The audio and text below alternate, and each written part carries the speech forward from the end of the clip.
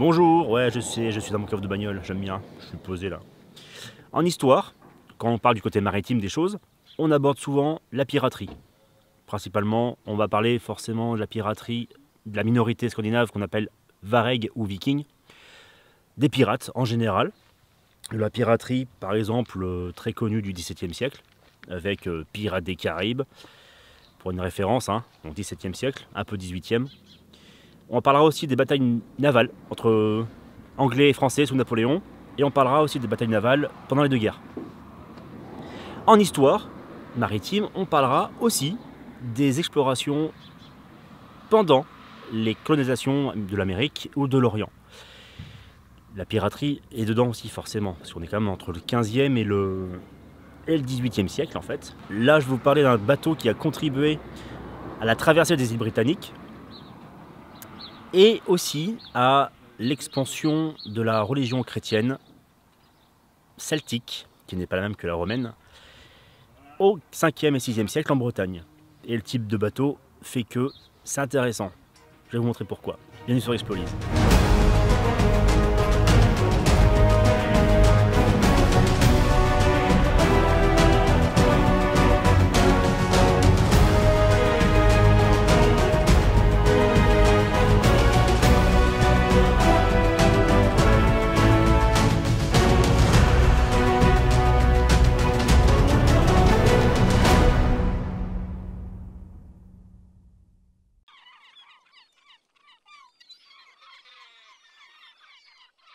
Là, je me trouve Nord Finistère, dans le pays Pagan. Pagan.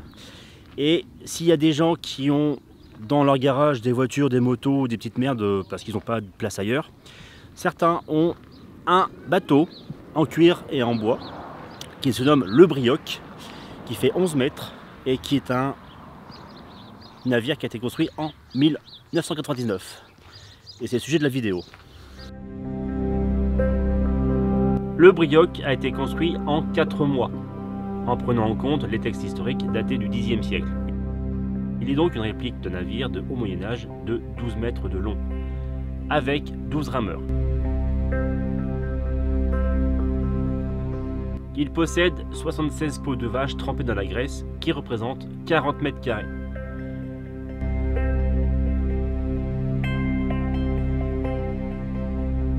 Il y a sur ce bateau 700 mètres de couture de cuir avec 70 000 points de couture.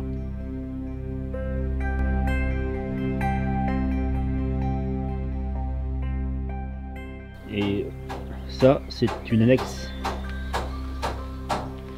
qui va être recouverte aussi de peau, bah, comme euh, le grand frère. Tout simplement un bateau qui n'est pas pris de tête à construire.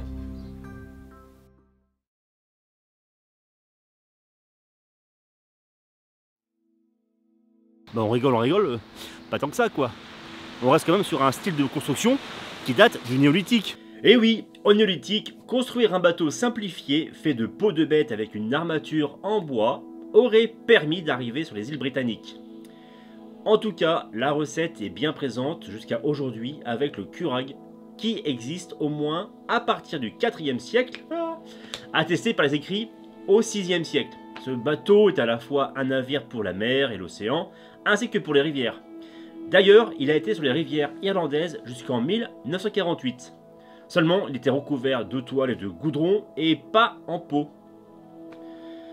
À travers le monde, il existe une certaine famille de curags, le coracle est le même type de bateau que l'on trouve au pays de Galles ainsi qu'en Asie du Sud. Le coracle est une barque ronde qui viendrait d'une autre barque ronde qui serait née en Irak au 9e siècle avant JC, nommée Kufa. Le coracle, le curag et la kofa ont été développés indépendamment au cours du temps. La construction du curag est propre à la côte ouest écossaise et irlandaise. Il existe deux types, un court et léger, sans voile, juste avec les avirons, et les plus longs avec plus ou moins un nombre important d'équipiers. Suivant la longueur du bateau, logique, muni de deux voiles en lin, comme le Brioc et le Saint-Efflamme. La construction de ces deux bateaux sont des répliques, donc nous sommes en archéologie expérimentale, en suivant les textes historiques du Xe siècle. D'ailleurs, je vais vous présenter quelqu'un qui est acteur direct de ces bateaux en peau et en bois. Je suis Ingonak Jawen, un membre de l'association Guard on Naud, une association nouvellement créée pour entretenir, armer et faire naviguer les deux curagues océaniques Brioc et Santeflam. Cette association a pour but de fédérer d'autres associations, des associations de reconstitution, aussi le milieu maritime, de façon à ce qu'ensemble on fasse tous naviguer les bateaux à la mode historique de leur époque euh, native. Euh, donc on va voir les deux bateaux à l'eau. Ouais, d'ailleurs le Brioc il est parti cette nuit à 1h du matin à la mer, à la flotte. Aujourd'hui c'est euh, une grosse journée pour l'association qui gère le Brioc.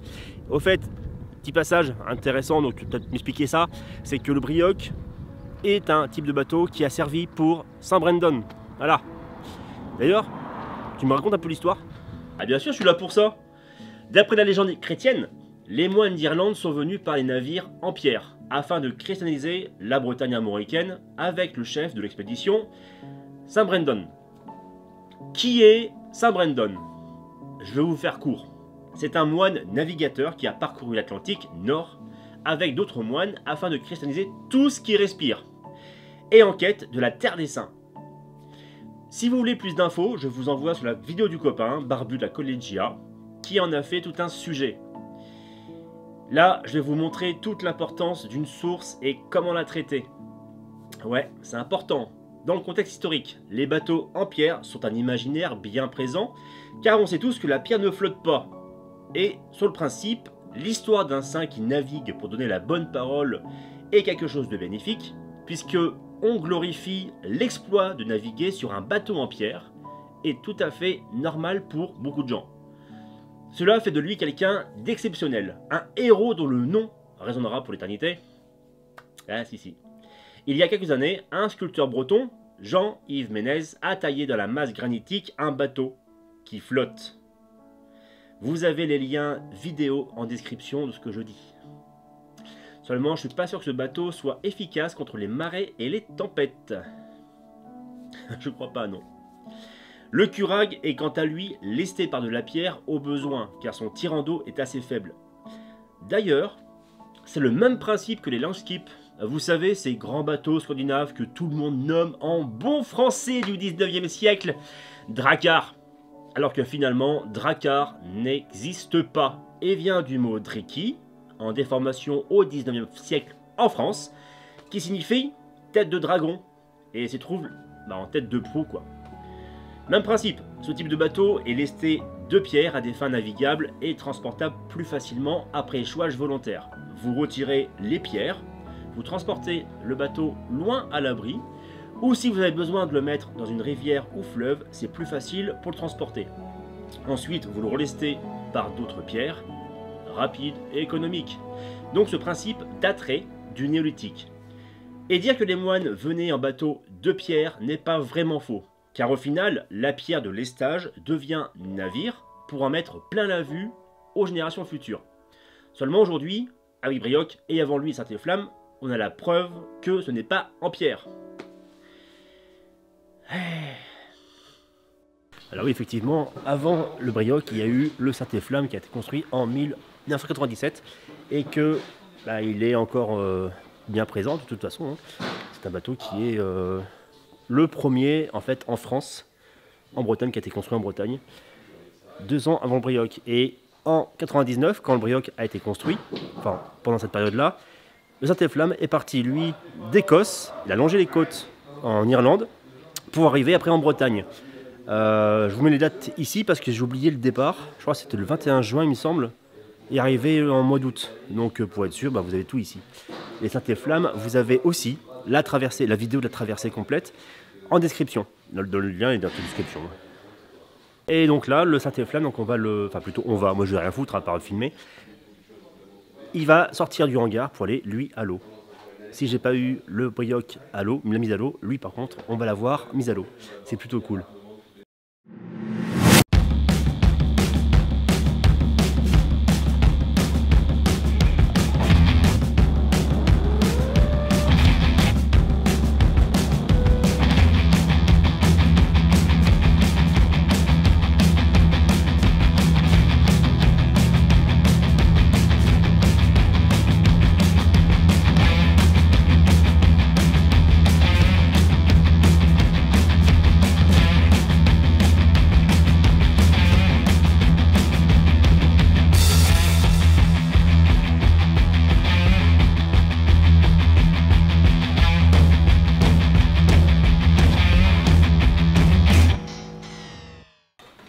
Euh, j'ai une petite question. Pendant que eux ils à monter le bateau en l'air, est-ce que tu peux me parler de Team Severin, s'il te plaît? En rapport à ce type de bateau. Ça peut être aussi intéressant d'ailleurs. Hein? Bah super, je dois tout faire ici. En 76 et 77, Tim Severin, explorateur et historien, a prouvé l'efficacité du curag en archéologie expérimentale face aux marées en faisant le même voyage que Saint Brandon, avec la description du saint dans les textes latins du 9e siècle. Il a notamment prouvé qu'il pouvait relier l'Irlande jusqu'en Amérique par l'Islande.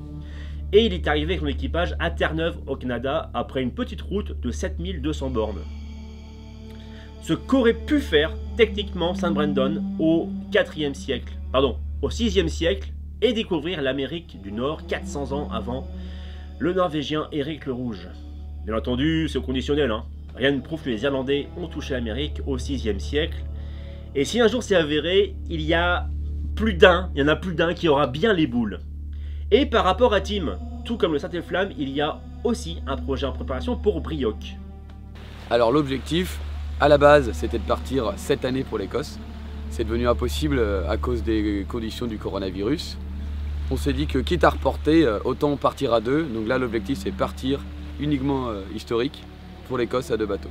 Quand je dis en mode uniquement historique, c'est on mange comme à l'époque, on s'habille comme à l'époque, on navigue comme à l'époque, tout ça à deux bateaux, Brioc et Santé-Flamme, vers l'Écosse. Alors la règle avec ces bateaux-là, c'est de s'adapter à la saison à cause des conditions météo c'est des bateaux ouverts, donc on part à la belle saison. Euh, l'idéal pour nous serait partir tout début juin, d'avoir un créneau pour partir en, faire en 2-3 jours la Manche. Et une fois, une fois la Manche traversée, on va prendre le temps de faire des escales au Pays de Galles, Irlande et Écosse. Donc on tape sur deux mois aller en 2022 et deux mois retour en 2023.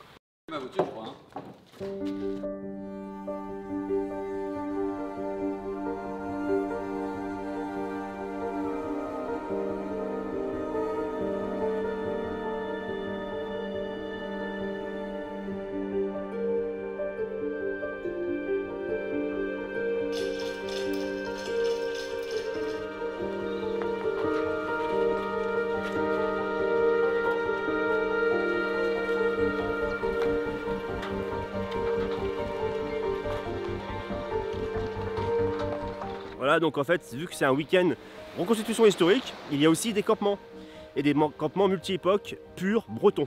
100% pur beurre. Ou 100% Kunyaman, comme on veut. Oui, parce que Kunyaman c'est bon aussi. Et restez jusqu'à la fin de la vidéo, vous allez avoir un petit bonus, c'est cadeau, j'aime bien. Enfin, ça vous fera plaisir, je pense aussi, si vous aimez la reconstitution historique et voir des choses, des beaux costumes et tout ça. Il y a ce qu'il faut.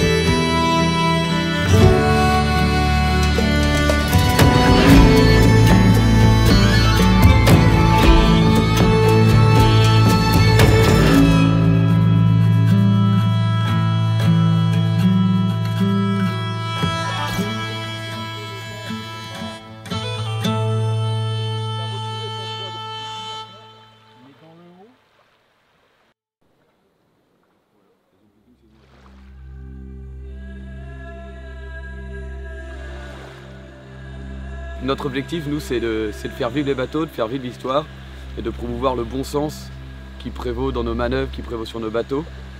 Et pour nous aider, si vous le souhaitez, vous pouvez nous soutenir via une cagnotte participative ou tout simplement en adhérant à notre projet, en partageant autour de vous. Voilà, merci beaucoup. C'est terminé, ou presque. Il y a encore un peu de, vidéo qui va arriver en bonus, histoire d'être euh, bah, bien, c'est un cadeau. Merci beaucoup à Ingwenock de m'avoir ouvert les portes du Brioc. Vous avez dans la description tous les liens sur l'association ou carrément sur les, vidéos ben, du Brioc, la construction du Brioc et la Sainte Flamme. Voilà, vous avez tout en description. Amusez-vous bien. Et on se voit pour une prochaine vidéo. Abonnez-vous. Abonnez-vous pour me soutenir. Merci beaucoup. merci, merci, merci, merci. Merci si c'est fait, merci si c'est pas encore fait. euh, voilà. À plus tard. Allez, salut, je vais me coucher.